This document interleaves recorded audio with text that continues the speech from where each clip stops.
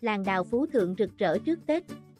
Những ngày trước Tết, làng đào Phú Thượng rực rỡ khi muôn cánh hoa đào bung nở khoe sắc, thu hút đông đảo người dân, du khách đến tham quan, chụp ảnh. Làng đào Phú Thượng được hợp thành từ ba ngôi làng nhỏ là Phú Xá, Phú Gia và Thụy Tiến, thuộc quận Tây Hồ. Giống như Nhật Tân, Phú Thượng là một trong những làng đào truyền thống của Hà Nội.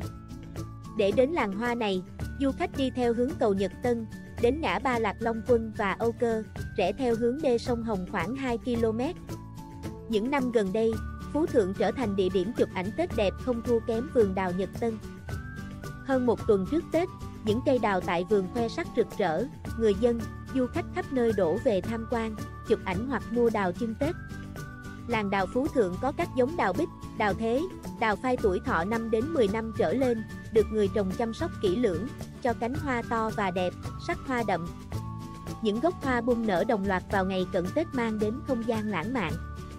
Sắc hồng đậm nhạt của cánh hoa đào hài hòa với tiết trời cận Tết trở thành bối cảnh yêu thích cho những du khách đam mê chụp ảnh. Đi ngắm cảnh và chụp ảnh vườn đào Nhật Tân và Phú Thượng vào ngày 1 tháng 2. Ông Lê Văn, ảnh, sống tại Hà Nội, cho biết năm nay đào phai nở sớm hơn đào thắm. Một số vườn đào ở Phú Thượng, dưới chân cầu Nhật Tân là đào thắm mới ra nụ, nở đúng dịp Tết Nguyên Đán. Anh Hà Huy Thông, chủ một vườn đào tại Phú Thượng, cho biết đào tại vườn có nhiều mức giá. Đào bán cành dao động khoảng 200.000, 500.000 nghìn đồng. Một cây đào nhỏ khoảng 3 triệu đồng. Gốc đào lâu năm giá khoảng 10, 20 triệu đồng một gốc tùy dáng, thế và đường kính của gốc đào.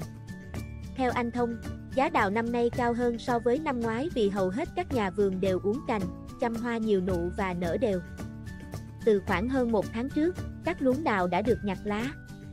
Đây là một kỹ thuật cần thiết để hoa đào nở đúng Tết Nguyên đáng. Tuy nhiên, việc hoa nở sớm hay muộn vẫn phụ thuộc nhiều vào thời tiết.